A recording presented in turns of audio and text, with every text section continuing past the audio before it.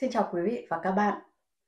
Sự thật vẫn mãi là sự thật, dù cho Mỹ Anh làm đủ mọi cách loại bỏ những ai biết được bí mật của cô. Nhưng rồi Hải Đăng dần nghi ngờ về người vợ đầu ấp tay gối. Trái tim anh cũng rung động khi đối diện với Minh Anh trong hình hài em vợ. Anh quyết tâm tìm hiểu lại vụ tai nạn, tìm hiểu về hai chị em, và anh đã tìm được câu trả lời. Anh cay đắng nhận ra người vợ đầu ấp tay gối chỉ là giả mạo Mỹ Anh cố tình đánh cắp thân phận của chị gái. Cô còn có công không nhỏ trong cái chết của ông Khánh. Anh cũng cảm thấy có lỗi khi không thể che chở bảo vệ cho Minh Anh. Chính sự nhận nhầm tai hại của anh là nguồn cơn của mọi bi kịch. Anh quyết tâm tự mình mở nút thắt, đưa mọi việc về với trật tự vốn có của nó.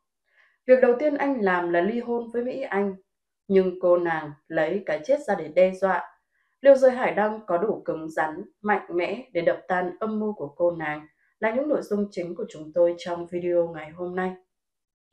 Khi sự thật phanh phui, Minh Anh tuyệt vọng khi biết mẹ và em gái, hai người cô tin tưởng nhất, yêu thương nhất, lại song kiếm hợp bích lừa dối cô. Cô còn biết dòng máu chảy trong người của cô không phải của bà Nga.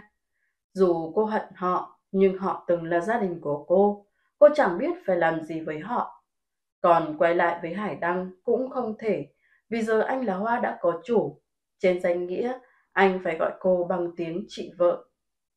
Và người khó xử không kém chính là Hải Đăng. Nghĩ tới lúc Minh Anh một mình chống chọi với tử thần. Nghĩ tới lúc cô bơ vơ lạc lõng, không biết mình là ai. Nghĩ tới cảnh cô chật vật đi tìm ký ức. Trong lúc cô cần anh nhất, thì anh lại đang vui vẻ bên người con gái khác. Rồi anh phát hiện ra nếu khi bà anh lên cơn đau tim, Mỹ Anh không dương mắt ếch để nhìn, thì có lẽ bà anh còn sống. Tất cả bi kịch đều do một tay Mỹ Anh mà ra. Anh nghẹn ngào bật khóc. Bà ơi, xin bà hãy tha lỗi cho đứa con bất hiếu này. Con đúng là có mắt như mù.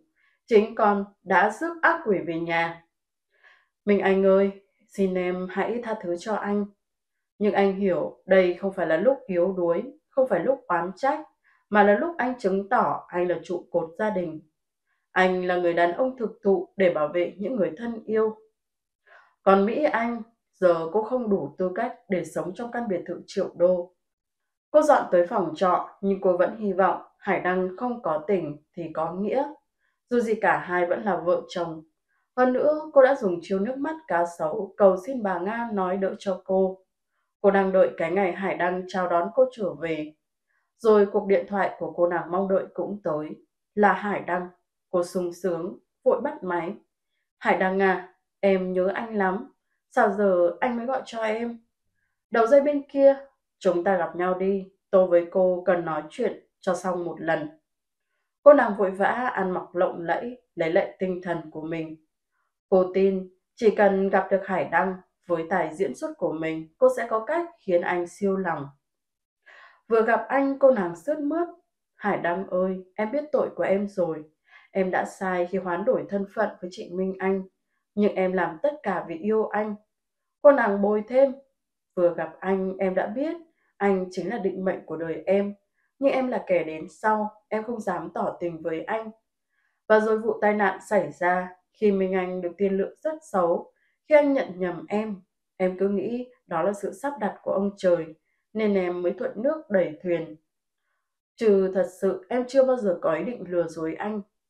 Hải đang ngồi im xem cô diễn trò gì, anh cảm thấy nực cười, anh chất vấn. Vậy khi chị cô tỉnh dậy, tại sao cô không nói rõ mọi chuyện? Đã vậy còn gieo vào đầu Minh Anh, quá khứ sơ bẩn khiến cô ấy phải khốn khổ.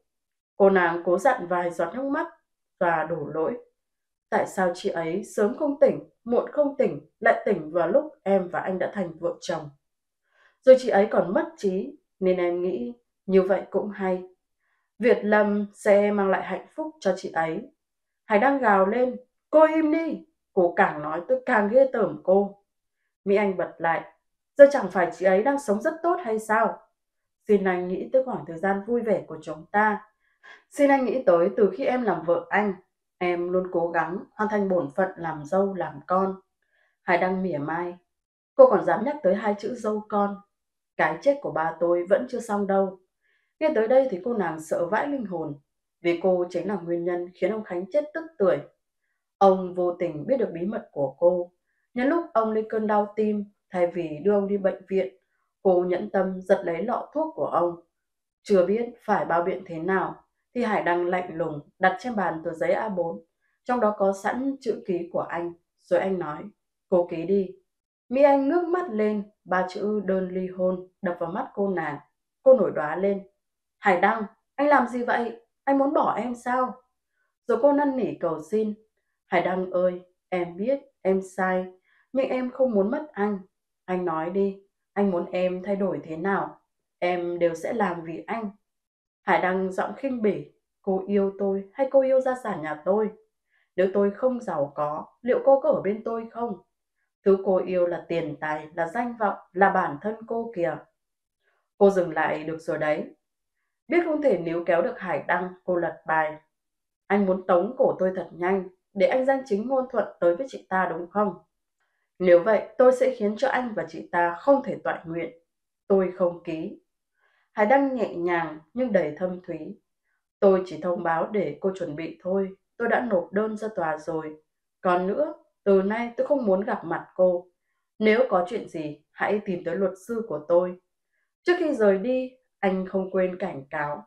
Chuyện giữa tôi và cô vẫn chưa xong đâu. Tôi sẽ tính cả vốn lẫn lời với cô.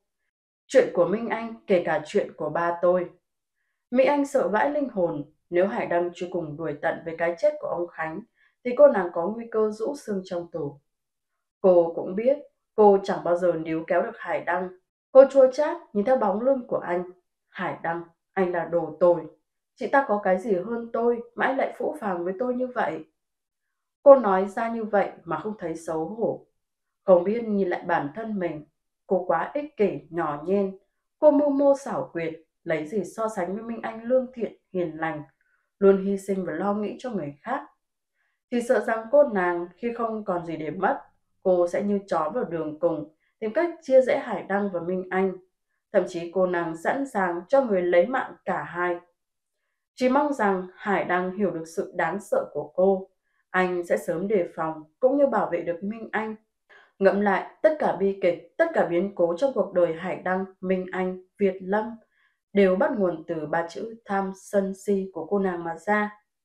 Nếu cô không bị danh lợi làm mờ mắt, nếu cô nàng biết hài lòng với những thứ đang có, biết trân trọng tình yêu của Việt Lâm, thì cô nàng vẫn còn có hạnh phúc trọn vẹn. Con đường cô đi chẳng còn cửa cho cô quay lại. Cô nàng sẽ sớm nhận báo ứng do chính những gì mình đã gây ra. Hải Đăng sẽ làm gì để Mỹ Anh không còn dám hành động? Và anh sẽ làm gì để chinh phục được Minh Anh thêm lần nữa? Nhưng Minh Anh có còn hướng tới Hải Đăng hay không? Khi thời gian qua, thời gian cô khó khăn nhất, chính Việt Lâm là người nắm tay cô vượt qua chuỗi ngày sông bão đó. Cô sẽ chọn ai là bến đỗ cuối cùng của đời mình? Hãy để lại ý kiến của bạn dưới video của chúng tôi để mọi người cùng bình luận. Xin kính chúc quý vị và các bạn có những giây phút xem phim thật thư giãn và thoải mái. Xin chào và hẹn gặp lại.